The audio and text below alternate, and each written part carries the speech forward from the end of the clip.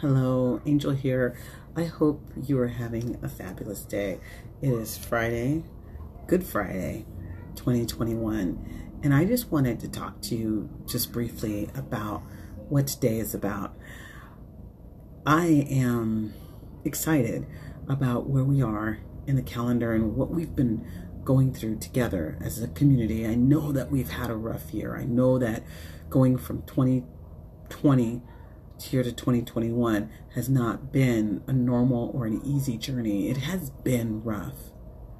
It has been filled with fears and, and distraction and all the obstacles and the things that create all the unpleasant, non yummy things that happen in our system.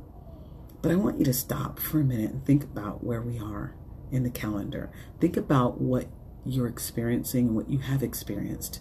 And then think about where we are and what we're what we're commemorating right now. Good Friday is the day we recognize when Jesus was crucified. Jesus was crucified for all the things that we recognize today as the freedoms that we have that are inherent in our existence. They say he died for our sins. What does that mean? He died for our sins. You can take on all manner of definitions for that. And I'm not here to start a religious conversation because I am not a pastor in a church.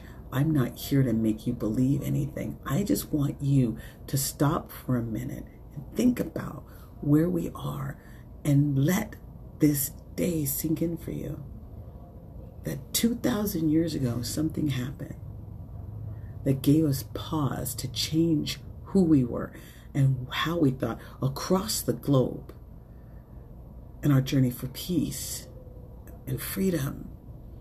Freedom to recognize one another and freedom to commiserate and freedom to commune with our God the way we want to do so. As Jesus Christ Himself asked us to. So, as you meditate today, I want you to think about in your own process what you can do to bring your life into a place of accepting gratitude for not just the things that you have,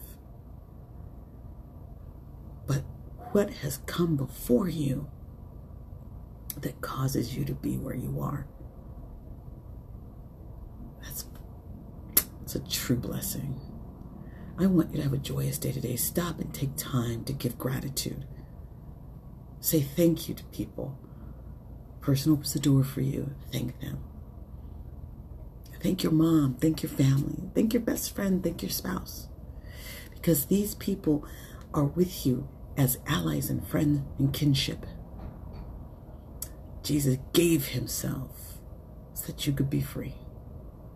Get out there and enjoy your freedom in his name. Our Father who art in heaven, hallowed be thy name. Thy kingdom come, thy will be done, on earth as it is in heaven. Give us this day our daily bread, and forgive us our trespasses, as we forgive those who trespass against us. Leave us not when in temptation but deliver us from evil. For thine is the kingdom, the power, and the glory, forever and ever. Amen. Love is the answer. Peace is the goal.